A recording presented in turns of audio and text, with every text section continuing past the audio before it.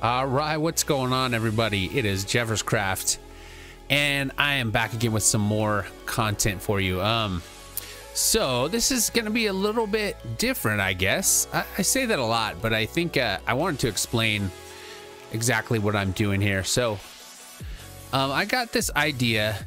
Me and my my son got this idea. We want to do a basically a series, a Minecraft series, and it's based off of this man's um, world that he's building. He's he's building. He's created this whole world, and he's added all kinds of cool stuff to it. I mean, it's not done yet, but you know, eventually when it's done, we want to um, go on there and create a whole series and and do some really cool stuff with this. So um, I just wanted to explain that to you guys before I actually got into to this because also I'm gonna watch. It. He's done, I don't know, four or five videos now where he explains um, the process he's going through to make this world, and uh, also he he does each specific biome, and he'll show you in the videos. And I wanted to basically watch it with you guys, react to it, and uh, kind of segue eventually into my series that I'm going to be doing based off of of this man here, this YouTuber called TrixyBlox, and uh, you know most most of you probably heard of him just because he's a pretty big YouTuber. Like two million people follow him, him, and I definitely do too. And also his uh, his girlfriend or wife um, has a video about the lore behind this whole world he's created. So that being said, um, I'm gonna be watching his the first video he did, and then we'll go through them. You know, I'll, I'll make other videos um, and go through each one that he did. Okay, and uh, it's gonna be awesome, guys. Hope you enjoy this. Let me know in the comments, like and subscribe, and we will get to it in a minute.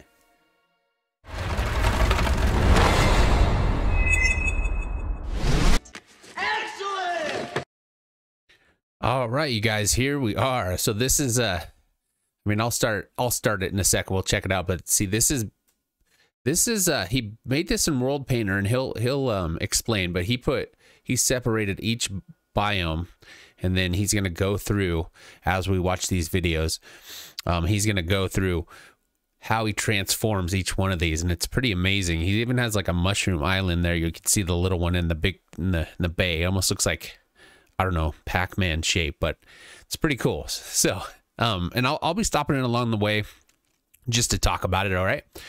So here we go. Let's do it, guys. All right. spanning across 16,000 blocks, 10 different biomes, and transforming every in-game structure. I'm upgrading literally everything in Minecraft to create the ultimate survival map. I started this project as a 1 million subscriber special, with the aim to create a mega build that is also a completely playable So, so this is, uh, I just wanted to show you. So, so he's built some pretty amazing things. This is not part of what he's doing now, but he's just showing you what, um, what he's made before. And I mean, man, he's transformed, you know, pretty big YouTubers worlds and things like that. And it's so cool. Um, this guy has some really good building skills. He, uh, pays attention to detail. He's he just knows what he's doing, and I'm so excited to be able to, because because what's gonna happen is is he's gonna make um after he finishes this survival world, ultimate survival world, he's gonna make it available for download on his Patreon, right? And uh, so I'm gonna grab that thing. I don't mind paying the five bucks or whatever it is, and grab that thing, and and we're gonna be able to adventure on it, man. So, and did you see that? What did he say? 16 million blocks uh, in World Painter? Man, all right. So here we go. Survival map. Now usually the builds that I create aren't really survival friendly and they're on a much more massive scale. The purpose of this project was to create a custom map containing a selection of different biomes and transform all of Minecraft's default structures and environments to create one epic and playable map. So today, we'll be planning the project, creating the map, placing all of the vanilla structures, and transforming our first biome. And if you want to get the world download once the build is complete, then make sure you get this video to 80,000 likes and I'll transform the rest of the island. To begin planning this massive project, I started to sketch out a general layout for the island and all of the biomes. Choosing only the most appropriate ones for this map. Now I did mm. my best Yeah, to position yeah. each of these biomes logically in relation to one another, so that way you won't be walking directly from the snowy tundra into the scorching desert. I thought Right. the plains biome was Makes a good sense. hub for the center of the map, which will actually be transforming later on in this video. Now as you can see, I added some little symbols next to each of the biome labels, as I plan to use themes in each biome, which I'll reveal a little bit more about once we've created man like i said he he does such a good job planning this stuff and and watch how he puts it together as we go man. He just puts it together so amazingly. Like i don't know if i could actually do this you know? I mean this would take me i don't even know. So anyway go here we go. The map in World Painter. Now with our map planned out, I jump into World Painter to gradually create our custom island and slowly make this world a reality. Now I originally planned for this custom world to be a fair bit smaller, but I ended up miscalculating now i'm sorry to keep interrupting but man he does he knows how to use this program this is world painter if you've never heard of it i mean you can make custom maps and stuff for minecraft um, but he knows how to use this really good so i mean that that that helps he has a lot of experience at how to use this and world edit which is a, is a mod that he uses to you know create structures and and terra, terraform the world. But um, so anyway, here we go. I'll I'll try not to interrupt too much, but I just want to at certain points I want to point out some uh, some things about this, you know, as we go. So here we go. calculating the proportions of the world and made the map two times bigger. Two times bigger I than a what he. mountain range for the snowy biome, add in some rivers and a lake to break up the landscape a little bit, dig out a grand canyon for the mesa biome, That's add awesome. some sand dunes to the desert, before finally painting the landscape and separating them into their specific biome types. See, he Now, as knows it. see, Look at this this. map is enormous. I can't actually even load the whole thing in to show you guys. Look at that, man. you just a tiny snippet of what to look forward to. In the Mesa biome, I'm planning to build a bustling Wild West town. Yeah, that's- and some huge mines. That is awesome. You may just find some secrets. I have so much story planned for this world, including an abandoned zombie-infested village in the Darkwood Forest, various ancient jungle tribes in dispute over their territories, something mysterious hidden in the snowy Hell mountains, yeah. maybe even a Bob Ross reference in the Taiga Forest, and so much more. I'll even be including treasure hunts for you to embark See that? on and diary entries from the villagers. So Okay. Okay, so here we go. That that's that's a good good thing to to point out here. So this is going to be a, a perfect survival world, man. Um, especially for somebody like me that likes to create content uh, with a story based, you know, with a storyline.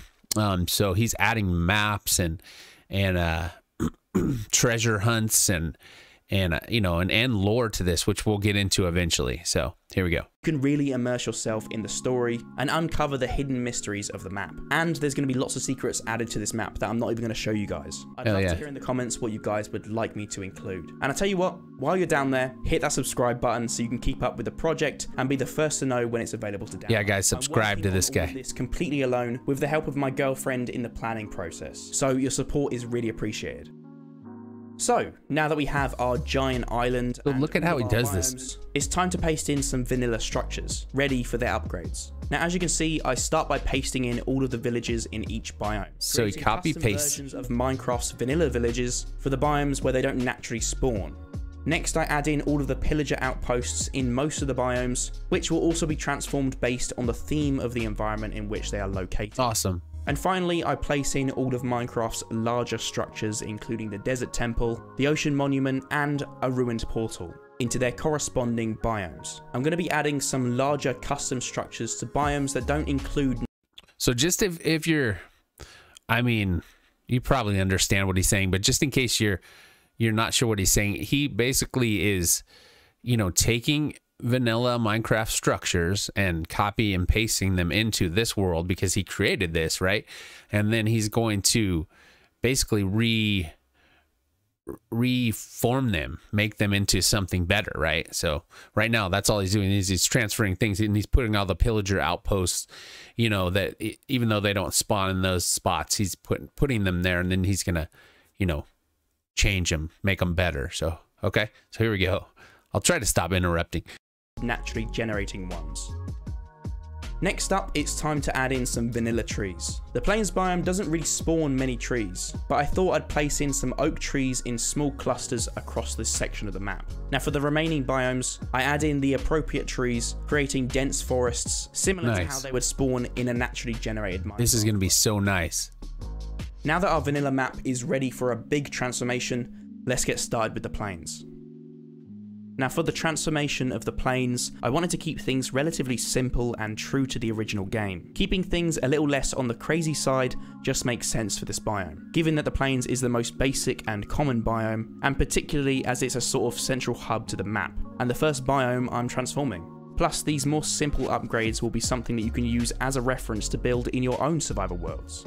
Yeah, so now he's going to start Now, the transforming. first thing we've got to transform are the oak trees that we've just scattered across the plains. In the background, you can see our vanilla oak trees, and in front of them, I start building up three different size variants. Look at that, man. With the smallest. I then create the largest one, and finally, one that sits somewhere between the two. So he hand built three Next, I go around different size oak trees, replace the default trees with our new custom built ones. And then he replaces took a fair amount of inspiration from Zelda Breath of the Wild for this plains Nice. biome. So to help populate and decorate the biome further, I created a few small bushes and custom boulders to help break up the dead space. Awesome. I paste in clusters of bushes and boulders around our oak trees and include a few larger See what I mean? Hold on, guys. See what I mean? He pays attention to detail, like like completely. You know, it makes you excited to want to just play in this world, right? All right. Boulder clusters as well. In the center of our plains, I build a raised section of land for a ruined Here we go. In vanilla the- Minecraft, the ruined portal. relatively frequently and pretty much anywhere. However, for this custom world, we're only going to feature one, and of course, this one was going to be a fair bit bigger than the ones we usually get. Nice, I build up dude. two pillars either side of the portal and play with the design a little bit before settling on this stone archway to house our ruined portal. Looks Now, if you compare this design to the original, it actually resembles it rather well. Obviously, just in a much more dramatic and upscaled way. I build the main staircase leading up to the portal and add in a few extra destroyed pillars for decoration. Obviously, there's plenty of obsidian here, which will make it much easier to build a Look at it's leaking in. Survival. But you still need a diamond pickaxe if you plan to do that. I add debris from the pillars and finish the portal design with some of the nether leaking into the overworld.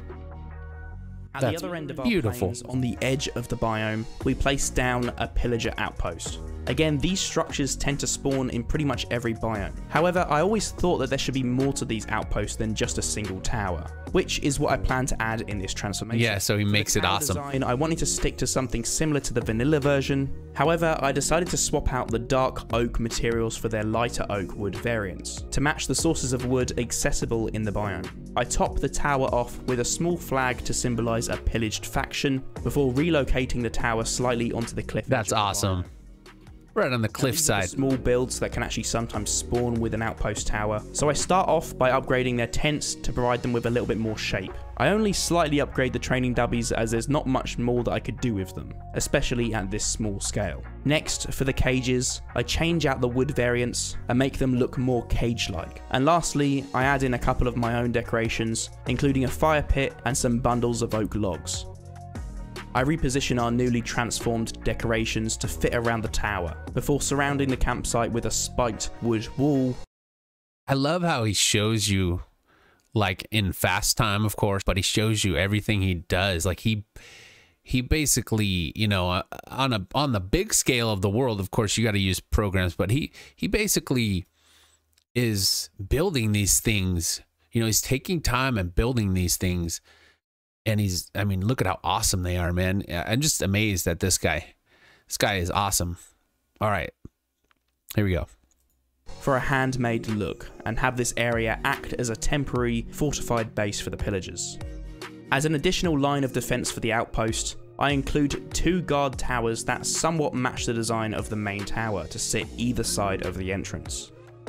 That's Finally, cool. we move on to transforming our Oak Plains village, starting with the first profession based building, the Fisherman's House. Firstly, I branch off from the lake with a small river leading to a pond next to the village. Next to it, I take one of our village houses and repurpose the house for our fishermen to live in. I stick to primarily oak wood and cobblestone for this design, however, I opt for a spruce roof, which I use for the remaining village buildings as well. I build a shallow sloping roof with a connecting balcony before repositioning the house and connecting it up with a small jetty or pier. Branching off from this, I create a small winding pathway leading to the lakeside to provide a few different fishing spots. I build a second walkway, connect it up to the path, and build two small fishing boats in the shallow water.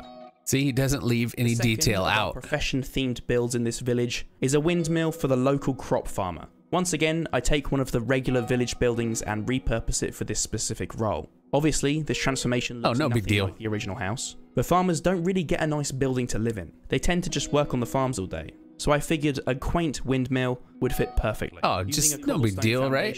I built the tower of the windmill using oak wood variants, accenting it with That's awesome. and a roof to match the rest of the village. I play around with the blades before settling on this design featuring some wool. Now to the right of the windmill, I wall off a section using stone variants to create a dedicated bee farm. I decorate it with the small custom oak trees we previously made, as well as some bushes and flowers. I add in a pathway and next to the farm, convert one of the small village houses into a house for a beekeeper. Now this Nice, isn't man. actually one of the villager professions, but I thought I'd add it anyway. For Yes. the large space in front of the windmill, I of course had to add a crop farm, as the village needs another food source besides fish. Oh yeah, and these plains villagers are exclusively veggie boys and pescatarians. Pretty environmentally friendly compared to the Wild West town. But we're gonna visit at that another farm. time. Anyhow, these rough stone walls fit perfectly with this simple building style and allow you to build an easy and relatively good looking farm. Yeah, I it divide is. the farm up into three fields one for wheat, one for potatoes, and another for carrots, before branching off with a stream for our water source. Unbelievable, bro. Now, with our farm all done, I wanted to work on the layout of the remainder of the village and create some new, more natural looking paths. I upgrade that small oak tree in the middle for one of our new custom ones and create some new village bell designs to fit beneath, and gradually repositioning the rest of the village. For our next villager profession building, we're upgrading the library. Now this upgrade stays pretty true to the original, with really minor changes being made. Mostly just by adding a bit more complex detailing to the walls, an interior, and of course, adding a new spruce wood roof. Before moving on from this building, I topped it off with a small bell tower, mostly just for that extra little bit of detail. That looks so good, man. Now we're almost done with our profession how he just- buildings, but I decided to transform Totally transforms the- building for a stonemason. The vanilla, for uh, the vanilla structures, man. Replacing most of the wood with a mixture of stone brick and cobblestone blocks to fit the theme of the building. I split the double roof in half and repurposed the second half for a small outcropping roof to shelter one of the building entrances. Out front, I built some custom boulders for our stonemason, and to add to that even further, created this miniature quarry out the back of the building, featuring this large, almost medieval looking pulverizer to break up the large boulders dug up from the ground. That's awesome. I thought these little stalls Did you see how he used the uh the anvil here? Let me just go back just a bit here. Where is it? It's like right here. further, created this miniature quarry out the See how he used the anvil right here? Like a rock crusher. That's such a cool detail. Right on. I just had to show you that. That, that I mean, this guy. I mean, I'm I'm going crazy, but but uh, you know, this guy it just knows how to how to make Minecraft amazing. You know what I mean? And so that's why I chose and I decided to to do my series using this world, man, because it's the perfect thing. It's like set up for it, you know? So here we go. The back of the building, featuring this large, almost medieval looking pulverizer to break up the large boulders dug up from the ground.